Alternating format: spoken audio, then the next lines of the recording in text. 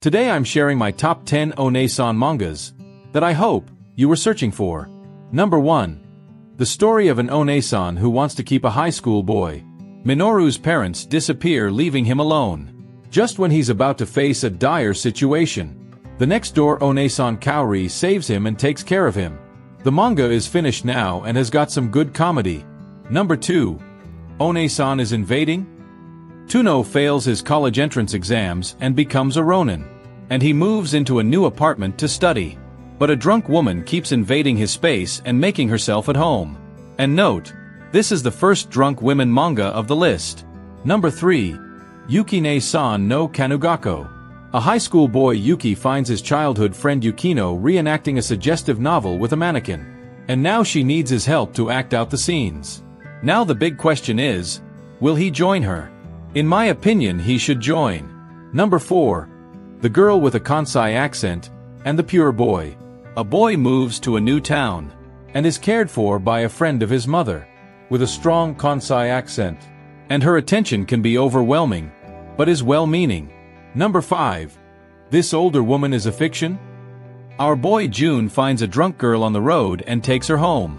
And she turns out to be his author mother's new assistant who's struggling with her new job but our guy June steps in to help her. Number 6. Hayazigawa Kuen and Goddess Lady. Hayazigawa Kuen works at a coffee shop and is mesmerized by a beautiful older lady, who regularly visits. He knows nothing about her but, she's his ideal woman. Strongly hoping our boy does not end up joining Jim at the end of the story. Number 7. Demina Onesan Demo Sukaida Yona? In short, it is about an Onesan who acts younger than her age and meets a young boy easily charmed by her playful nature. Number 8. Konbini de Yoku o Downer Onesan.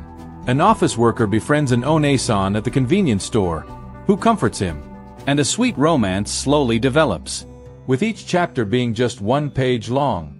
And let me know if you're interested in one-page mangas. I have a lot of them to recommend. Number 9. Itoko no Onesan in I Am a Show? Masato Oizumi starts high school and moves in with a relative. But it seems like his big sister cousin is a bit too affectionate for comfort. Number 10. The story of getting remarried and having a kawaii older sister. This manga is a real tearjerker. I mean it literally, read it and you might regret. It's perfect if you need a good cry but avoid it if you're already feeling down. And that's it for my top 10 Onesan mangas. Which one are you excited to read, obviously for its plot? Let me know in the comments.